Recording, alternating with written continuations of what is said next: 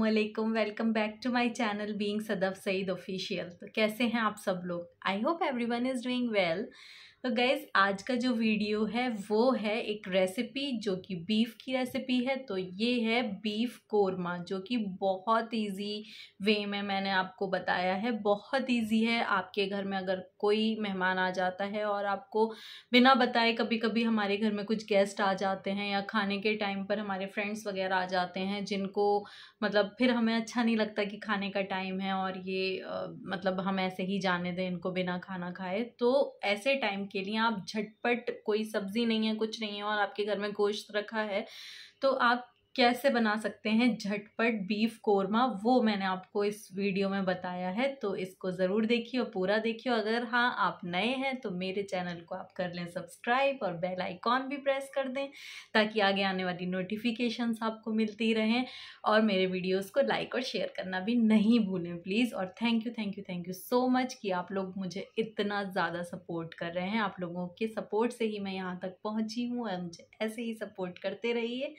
तो चलिए आइए स्टार्ट करते हैं अपना वीडियो और दिखाते हैं आपको कि मैंने बीफ कोरमा कैसे बनाया है। चलिए आइए।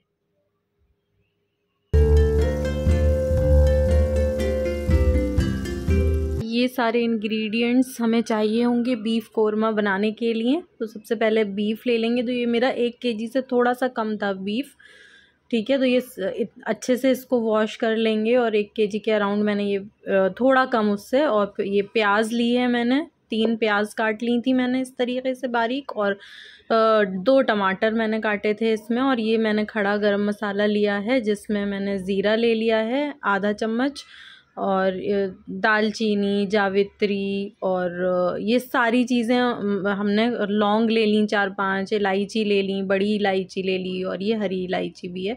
तो इस तरीके से इतना सामान मैंने एक केजी से कम जो बीफ लिया था उसके लिए लिया है और ये एक स्पून रेड चिली पाउडर और दो स्पून मैंने, तीन स्पून बल्कि मैंने कोरिएंडर लिया है, धनहरा वो धनिया लिया और हल्दी और नमक और एक मैंने कप जो है दही का लिया है। तो ये सारे जो मेरे इंग्रेडिएंट्स थे, ये मैंने लिए हैं।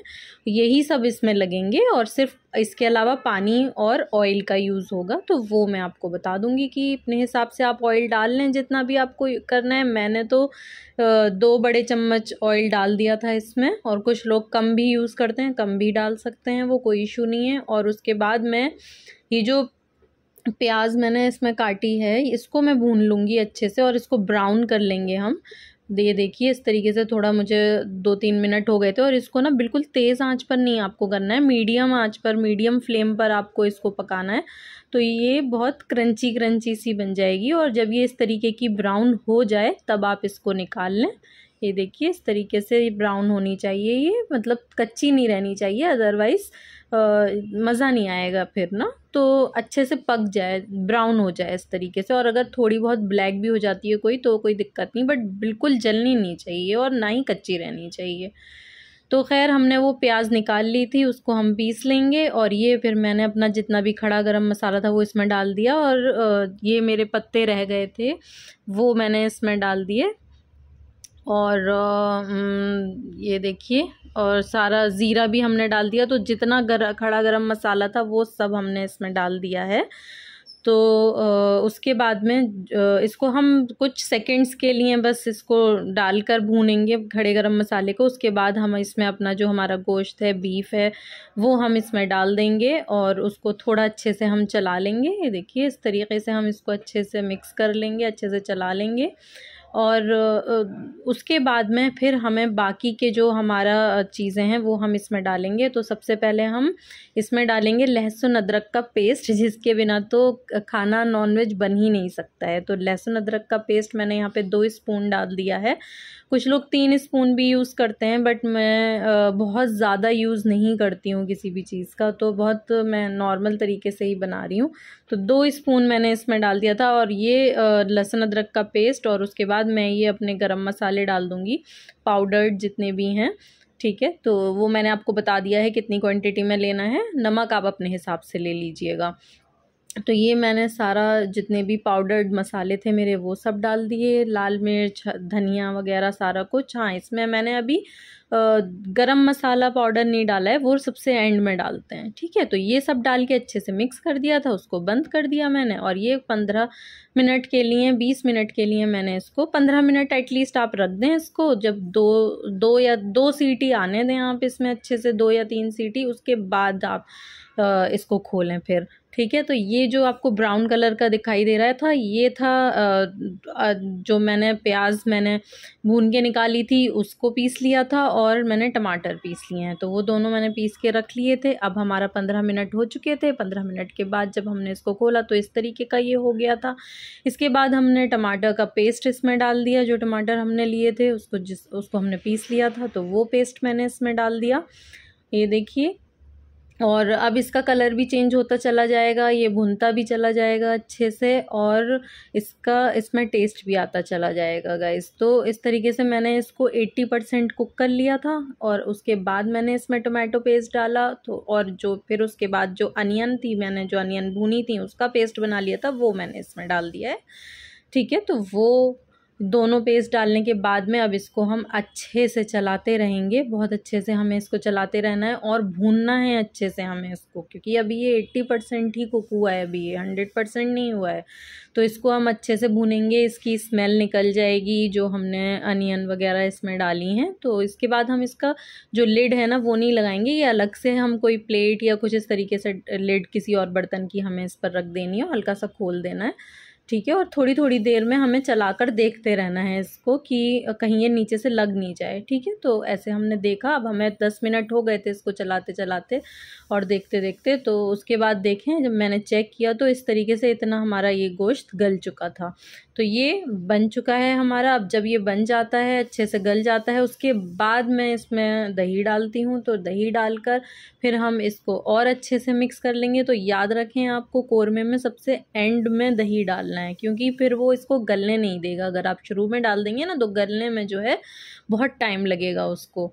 तो कोई चीज़ चिकन वगैरह होता है, उसको हम स्टार्टिंग में ही दही डाल देते हैं, लेकिन बीफ वगैरह में हमें एंड में दही डालना होता है। ताकि वो जब अच्छे से गल जाएगा, उसके बाद हम उसमें दही डालें। ये देखिए, हमने थोड़ा दो तीन मिनट और इसको चला लिया है। ये देखिए थोड़ा सा फ्लेम हमने हाई करके इसको, क्योंकि दही दही डाला तो थोड़ा सा पानी भी सा भी हो गया ना तो उसको हम थोड़ा सा एक मिनट के लिए हाई फ्लेम कर दिया। और अब मैंने इसमें गर्म मसाला डाल दिया, एक चम्मच। तो एक स्पून मैंने गरम मसाला डाला है और उसको चला लेंगे और अच्छे से हम एक दो मिनट चलाकर और गरम मसाला, ये देखिए थोड़ा सा और अच्छे से भुन गया और अब हम इन द एंड, ये एक ऑप्शनल है गाइज़ इसके, इसमें हमने ये देखिए केवड़ा वाटर डाल दिया है। ये ऑप्शनल है, आपको डालना है, आप डालें, नहीं डालना, ना डालें। उसके बाद मैंने इसको ढक दिया तो ये हमारा रेडी हो गया था ज़बरदस्त सा यमी सा बीफ कोरमा तो ये बहुत टेस्टी बना था, बहुत ज़बरदस्त बना था। तो आप लोग भी अपने घर में इसी तरीके से बीफ कोरमा बना के देखिए, बहुत ज़बरदस्त बनेगा, बहुत सब लोगों को मज़ा आने वाला है इसको खाने में।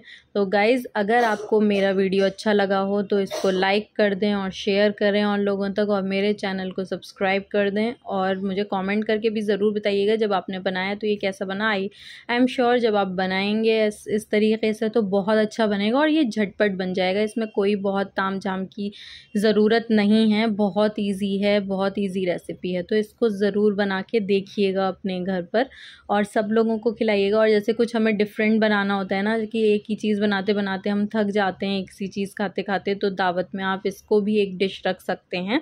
और इसमें आप चाहें तो आलू भी डाल सकते हैं, कोई इशू नहीं है। तो आप चाहें जिस तरीके से भी बनाएँ इन्जॉय करें और अब मुझे कमेंट करके ज़रूर बताएँ बनाने के बाद में कि कैसा लगा। तो थैंक यू सो मच आप सब लोग अपना ख्याल रखें और खुश रहिए सब लोग हैप्पी रहिए।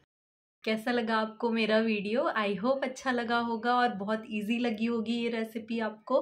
तो आप लोग अपने घर में ज़रूर बनाइएगा और मुझे कमेंट करके ज़रूर बताना कि आपने जब ये बनाया तो आपके घर वालों को कैसा लगा और गाइज़ मुझे ऐसे ही सपोर्ट करते रहिए और once again I am requesting you if you are new on my channels and do please subscribe it और and also press the bell icon और मेरे वीडियोस को लाइक और शेयर भी ज़रूर करें। थैंक यू सो मच आप सब लोग अपना ख्याल रखें। अल्लाह हाफिज़। Take care